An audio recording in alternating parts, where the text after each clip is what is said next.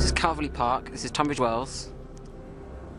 That, my friends, is a UFO. Really? Surely it's a plane or maybe a star. Oh, hang on, there's two. Just to put it into perspective, there's a star up there. That is a star. That is no star. No star. Are you a trained astronomer? Is Patrick Moore with you? That that one down there just turned on. We take it he's not. They are not moving. Oh, yep, that's moving. So it is a plane. They're drifting across. Well, UFO or not, these selection of lights caused controversy in the Garden of England earlier this week. It, it's gone. It's oh, it's it's there. Now it looks like a plane.